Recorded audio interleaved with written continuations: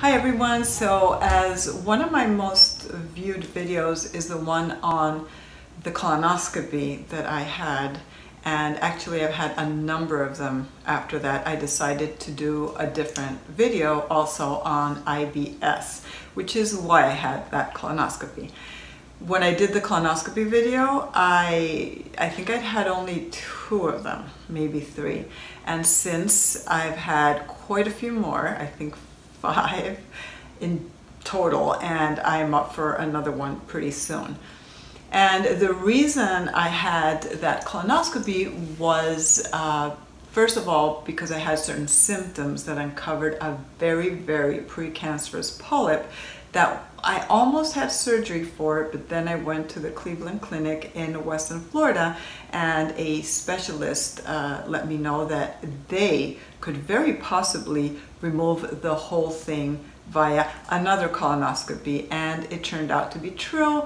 So so far I have not had to have the colon resection that they thought I might need and so I'm a very happy camper and a big proponent of colonoscopies so there's that I don't have anything wrong with my ears it's just that I'm using these guys as my microphone today so before I talk to you about IBS which if you're here you probably found me because you're Googling about your irritable bowel syndrome, I want to let you know that I am not a doctor. I have uh, no formal training in anything that might help you make your IBS better or self-diagnose yourself.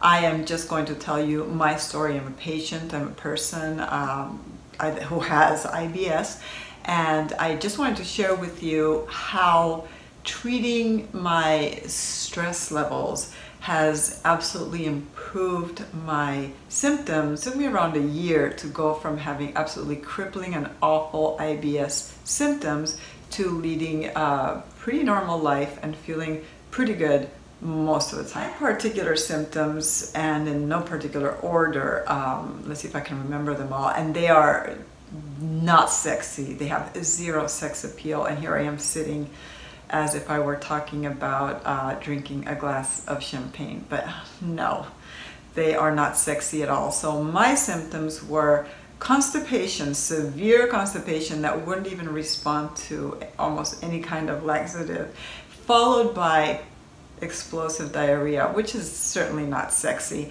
And that was really bad because I never knew when it was going to hit me. So I might be out and about and I would have to find a bathroom. Uh, it was pretty bad.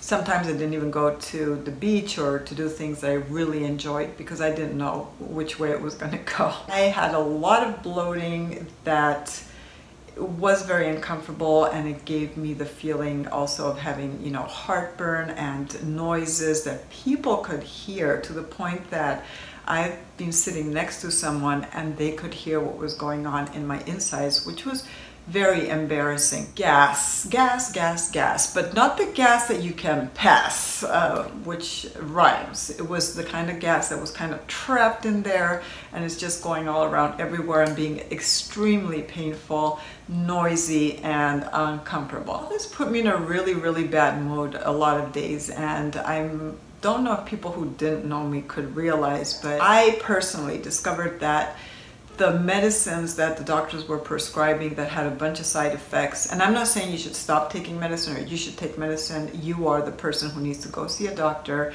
and possibly a, a gastroenterologist possibly your a regular physician as well. Who knows? It is your call.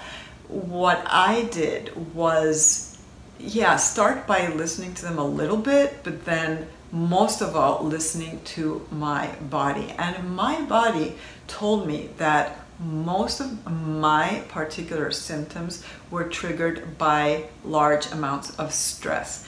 This kind of came as a surprise to me because I practice sports. I've always practiced sports and I did it because it's a humongous stress reliever but even though I was practicing asana yoga every day, a situation in my life as a parent had me, uh, my stress levels were through the roof and I did not even realize it. And not only that, I felt the stress like lodged in my stomach and my intestines and I don't even know if I'm pronouncing this right in English, English, but in my colon, and it was it was really awful. I have read since that it's like the digestive system has its own um, kind of little brain or the way it manages itself and the stress in one's brain and the stress in the digestive system is kind of managed differently. I, well, I can attest to the fact that after one year of focusing, uh, I don't know if 100%, but a lot on de-stressing, de-stressing my gut, I feel so much better. So I'm just going to share with you from patient to patient or person to person what has helped me de-stress. Very, very simple thing, but that has helped me enormously is to eat without doing anything else. Now this might sound super simple, but during the day, I remember eating while I was sitting at my computer and working. I work online, so it's pretty easy to think that I need to multitask and that I can't stop, etc. So just taking the time to eat without doing absolutely anything else was life-changing. And now when it is time to eat, I stop whatever I'm doing. Uh, if the weather is not awful outside, I will sit outside, eat my food, and also not be in a rush to finish it. And I can tell you that that has very much improved my digestion. I was already practicing asana yoga daily, but for the past year, I have also incorporated meditation and breathing techniques. So uh, sometimes in the morning, sometimes in the evening, sometimes in the middle of the day, I will do either five minutes of meditation, which could be simply focusing on my breath, or it could be focusing on a mantra, or it could be um, a guided meditation. If you are not familiar with meditation, you could also use a guided meditation. And every single day doing this for five minutes, although I've gone up to 15, um, has definitely helped my monkey mind, that chatter that we all have in our heads sometimes, dissipate and thinking of nothing at some point is mind-blowing. Yoga Nidra, which is also called yogic sleep, is wonderful. I was already practicing it and now I've stepped up my game. So I enjoy leading people through Yoga Nidra, but when I need to do it myself, I generally use, uh, if I can't take myself to a class, I will use an app on my iPhone or I will go on YouTube and find the uh, video that speaks to me or the one that I feel more comfortable with. guided me to a state where you're not awake, you're not asleep, but you are uh, very much relaxed. This year I've also studied as a part of my yoga teacher training Ayurveda, which is a branch of yoga, really. It is the traditional Hindu uh, medicine, traditional Hindu medicine. So one of the things is kind of about uh, finding balance or restoring or taking your body and your mind back to balance. And one of the things uh, that I do is get up in the morning and scrape my tongue or brush my tongue with my toothbrush and spit it out and then drink a big glass of warm water. That has also helped me a lot. In the evenings, I also practice this Ayurvedic habit that is to massage myself with warm oil. Before bed, I can tell you, this is very, very relaxing.